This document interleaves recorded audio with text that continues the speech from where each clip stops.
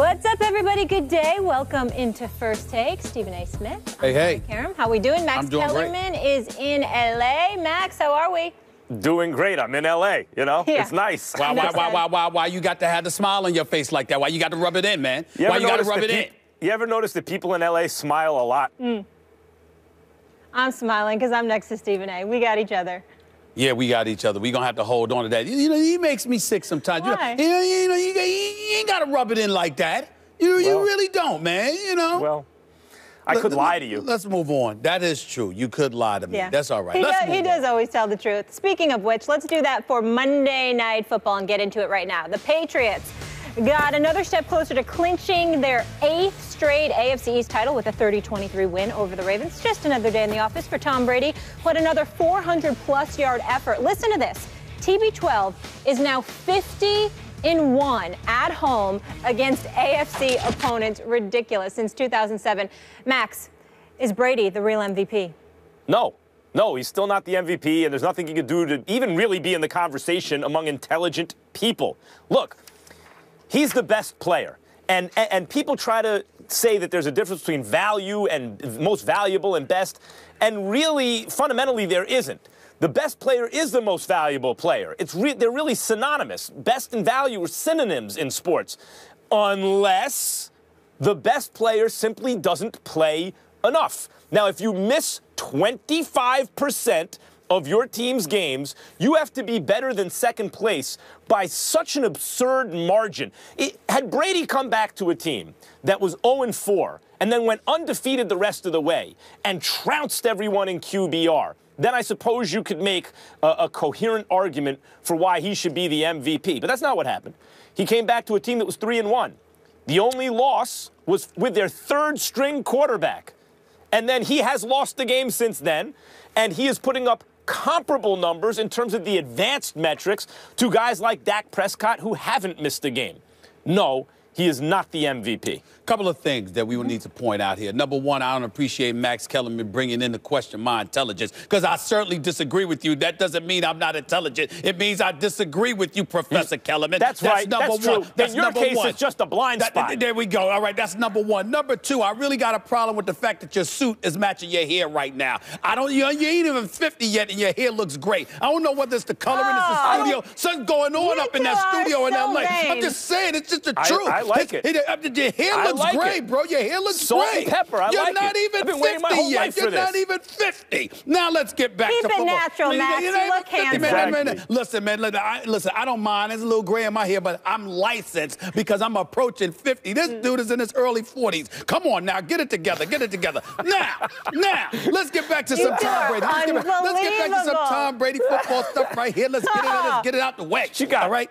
She got just for men going on there. I mean, what are you talking about? Tom Brady. Ooh, did you, you know what? I'm gonna try it. I ain't, I ain't ashamed to tell you. I ain't ashamed to don't get me started with the road game. All that stuff is coming. Trust me. Trust me. All right. Yo, like, let's get back to some football here.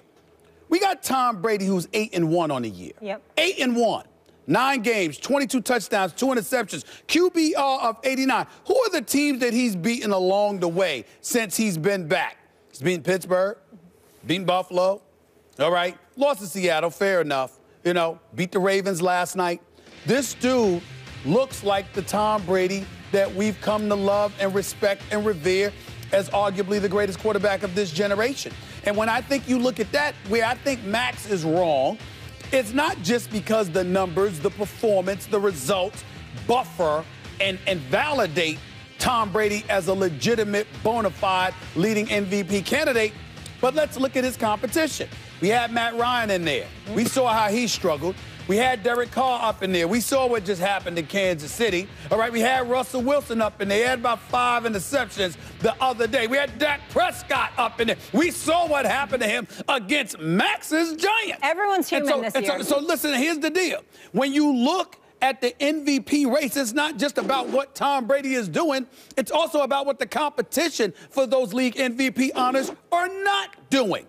Derek Carr struggled against Kansas City. Like I said, he wet the bed. We know that. He could recover from it and ultimately win but that was a bad performance. Matt Ryan has been up and down over the last several weeks. Dak Prescott, relatively pedestrian performances throughout the year in terms of yards accumulated, even though the QBR has been impressive. He hasn't had like a bunch of 300 yard games or anything like that. And then we're talking, obviously, about a Russell Wilson and others, and even a Big Ben Roethlisberger who is in the MVP conversation. You just look at these guys, and then you look at Tom Brady and throwing for over 400 yards last night and completing 68.5% of his passes. Don't tell me that because he was gone for the first four games of this season, that this man is completely eradicated and omitted from the yes. MVP Let me add one more thing. And he Cannot had happen. no Gronk and he had no Danny Amendola. That's right. That's yeah, everyone, right. everyone misses guys. And by the way, Brady's had some sleepy performances too. No one is great every single week. Now, Dak Prescott is 11 and 0 this year versus non-Giants teams. And that's okay. I mean, Tom Brady is 4 0 in the Super Bowl versus non Giants work teams. that in.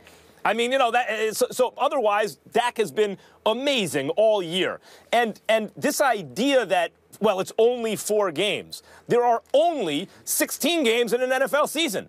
So four games of an NFL season is almost exactly 20 games of an NBA season and 40 games of a baseball season. It doesn't sound like a whole lot, but it is a whole lot. And for those who point to Joe Montana having won an MVP, having played 13 games, you know, you you could argue maybe he didn't deserve it. And also, at a certain point, you say, well, maybe 13 games, 14 games you can do it, but 12 is not enough. It's 25% of the season missing. If he trounced everyone again in QBR or, and, and other advanced metrics, and his team was struggling without him. This was a team, remember, Arizona out of the gate, they were supposed to be Super Bowl contenders, and, and the Patriots went and beat them on the road with their second string quarterback. So it's not like Tom Brady is elevating a bad team to excellence. He is taking an already excellent team and making it even better because he is the greatest quarterback of all time. And game for game, he is the best quarterback in football this season, but he has missed well, too many games. One of the subjects that we're going to visit today is Tony Romo again because you have Cowboy fans clamoring for Tony Romo because they think that the Cowboys would be better with him than without him. Because the fact of the matter is, when you look at the offensive line, when you look at Ezekiel Elliott, when you look at what Dez, Terrence Williams, Cole Beasley, Jason Witten, and what these boys are capable of doing offensively, one would argue that the pieces are in place. Whereas with the Patriots, regardless of the fact that they were three and one before Brady arrived, you look at their defense defense, rife with playmakers, opportunistic defenders. There is no denying that that plays a very pivotal role in the success that they had. What would the Patriots offense be without Tom Brady, particularly without Gronk and Amendola? When you look at Tom Brady and what he has proven over the course of time to have been able to do and how it's yet again being validated the way that it is being validated, what I am saying is this even though I would sit here and put him as the lead for the MVP, I have no problem with somebody who would say, well, you know what, I'm going to go with Carr, I'm going to go with Ryan or somebody else because they play more games. My pro- hold on, or Matthew Stafford. That's right, absolutely, Matthew Stafford. My issue with Max, my issue with you is that you are of the mindset that because of the four games missed, he isn't even allowed in the right. conversation. And sure. you're eight and one. The likelihood is that you could end up being 11 and one as a starter with those numbers, with what you're producing, with everyone and their grandmother knowing how pivotal you are to the team's success. Dak Prescott even though he's very pivotal because the quarterback position is the most important position, the fact of the matter is Dak Prescott is not as pivotal to the Cowboys' success as Tom Brady the is. Argument is because the there's someone. Success. The argument is because there's someone else on the roster who can approximate what Dak does, or according to some, even do it better. That somehow diminishes Dak's value.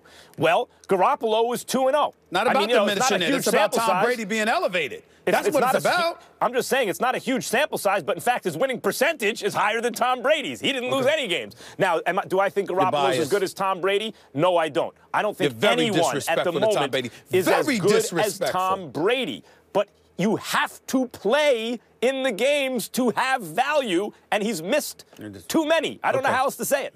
All right. The most updated odds we have right now from offshore to win the MVP are Tom Brady winning it at two Yeah, to listen, one. Listen, people, people are not listening to Max Yeah. on this matter. They know that something's wrong with Max when it comes to Tom Brady. MVP he's Trying, he's trying to We hold on to the fact that about he said Tom Brady folks, was going to fall off a cliff. That's what he's trying to hold on to. No, uh, the cliff means he'll be cruising along at a Oh, high stop it. altitude until it happens. That doesn't mean that he's like in steady decline. I forgot. And I- I- MVP I voters I apologize, in, in, in I apologize. most team sports are Hey, hey. notoriously bad at arriving at the correct conclusion. Wow. hey, hey. I apologize. I apologize. Okay. I I- your definition of a cliff is different. I apologize. My apology. I just need to say one more thing. Again, he's 50 and 1 at home against AFC opponents. That stat is 50 and 1. ridiculous. That's why he's the greatest of all time. Yeah, and going to be the MVP. The Patriots have the best record in the AFC at 11 and 2 and are tied for the best record overall with Dallas. Stephen A, is it a waste of time to think anyone else is going to come out of the AFC other than New England? I really do feel that way. Mm-hmm. I really do feel that way because I think with Brady, they're a well oiled machine. And I think that the rest of the AFC, even though they can make it interesting, the team best suited mm-hmm. to go up against them from a disciplined and focused perspective are the Kansas City Chiefs. But you're not going to get me to pick Alex Smith over Tom Brady, especially if they got to go to Foxborough to play. The only shot Kansas City has is if they somehow, some way, maneuver themselves in position to get the top seed, and the road to the Super Bowl has to come through Arrowhead Stadium. If Tom Brady has to go to Arrowhead, that would be an entirely different challenge than Kansas City going to Foxborough. If Kansas City goes to Foxborough, as far as I'm concerned, they have no shot. What it if would the be a miracle. Steelers got hot? Uh, If the Steelers got hot, yeah, but again, that secondary up against Tom Brady, I don't like it. Right. I don't like it. Oakland, their defense, their secondary up against Tom Brady, I don't like it. Even though Khalil Mack getting to Tom Brady with Bruce Irvin and those boys, they can make it a bit interesting, but I don't. I'm not sold on them, particularly after I watched them perform against the uh, uh, Kansas City Chiefs this last week. And then, of course, don't get me started with anybody from the AFC South. I won't even consider it. And so when you look at it from that perspective, that's how we get to that conclusion.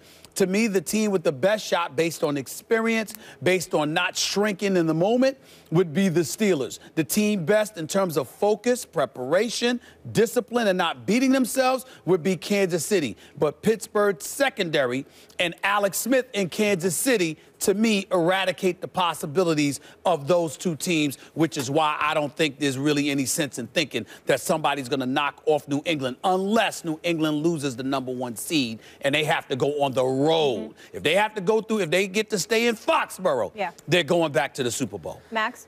I picked New England to get back to the Super Bowl this year and face Seattle, who I thought would win the Super Bowl, and I'm still not moved off that prediction, although Seattle's struggling. So that means I think the Patriots are still likely to come out of the AFC. But that's different than saying no one else has a shot. They're favorites, but they shouldn't be prohibitive favorites. If you look at Kansas City, if you look at Oakland, and the puncher's chance that Derek Carr gives that offense late in games, look at last night's game. On the road, the, uh, the Ravens had a chance in the fourth quarter, and if not for one inexplicably sluggish series, right, of downs where they just it, it was just slow moving and one blown coverage, maybe they win on the road against the Patriots. Now it's a lot of ifs, I understand that, but they were very much in that game in the fourth quarter, and I don't look at Baltimore as world beaters. Um, so yes, the Patriots should be favored to come out of the AFC as I predicted they would before the season started, but based on what I'm seeing right now and, and, and based on the quality of the other teams and the specific attributes of the other teams, Stephen A., you mentioned uh, Arrowhead, how difficult the Chiefs are there. But again, the Raiders, even though I think it's a year too early, I think next year they might be Super Bowl favorites, depending on what they do to their defense in the offseason. But even right now, we have consistently seen the Raiders win games that they were really no better than the other team. Well- but they have a special quarterback and an elite receiving core and late in games that makes them extremely dangerous. A couple of things worth pointing out, Max. Number one, did you watch Brady yell at, uh, I think it was Edelman last night when he ran the wrong route and what have you? I mean, th- this is accountability. This is leadership. This is what you would have liked to have seen from Dak when it came to Dez running those routes that he was running the other day. Let me be clear. The other point that I wanted to point out about Brady is this. Look, against an Eli Manning and against a Ray Lewis, um, I think Eli Manning's like a one and six or one and seven in the postseason against those guys. Here's my issue. Where's that Ray Lewis? I understand that Eli Manning might be there, Big Ben, uh, Derek Carr, for example.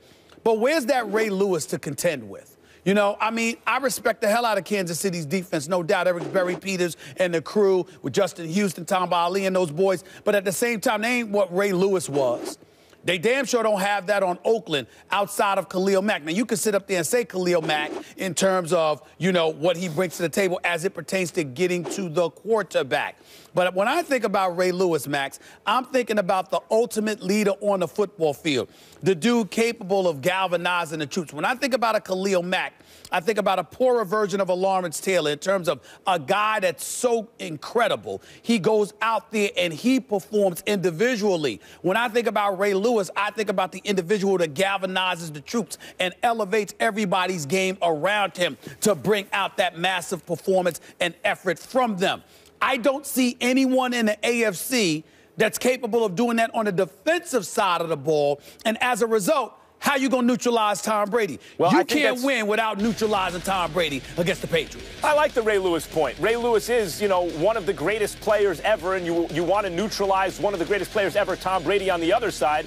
Maybe it's good to have one of the greatest players ever on defense on your side, particularly when that player is a leader of the defense the way Tom Brady is a leader of the offense. I'll point out, though, that against John Elway and the Broncos, since you brought up Lawrence Taylor, who was not the same kind of leader that Ray Lewis was, right. they still beat the Broncos, and LT was the best, you know, player well, in well, football I mean, that they, year. I mean, listen, wait a minute now. There was the Harry Carsons of the sure. world, Carl Banks and others of course. on the on I'm, the squad talking, with them now. No doubt about it. I'm talking right. about the impact that a special player can have okay. on defense.